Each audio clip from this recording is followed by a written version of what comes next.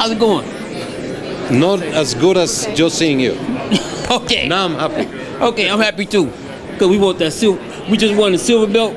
You know The silver belt, about, right? absolutely, baby. Waseem Muhammad? Waseem from Pakistan. That's right, He that's went all the way to South Korea and put a brilliant performance, and now he's a silver champion. Right. And it's just the beginning of a great career. Yes, we were. We want that silver. We want. We want the real belt now since Chocolatito giving it away. You know what I'm saying? Well, Chocolatito has a tough fight against Cuadras.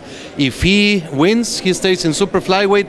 Na- Waseem is right there. Okay, I like Here's that. future. I appreciate it. I got you on camera.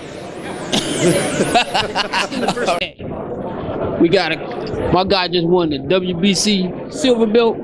Yeah, it's good. Yeah, it's great. One twelve. Very nice. Yeah, you only got four fights. Excellent. You know what? He had to been against four good people then. No, not yet. I mean, he got two titles in in, in four fights, but we want a real title.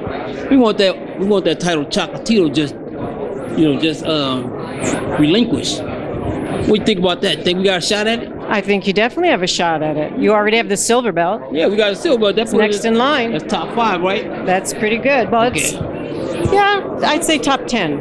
Oh, top ten? Oh man. No, it should be around the top ten, I would think. Remember, we're in 164 countries. It's a big world, a lot of good fighters, but Yeah, silver belt true. really counts for something. Okay, well we we're doing good. We're on our way.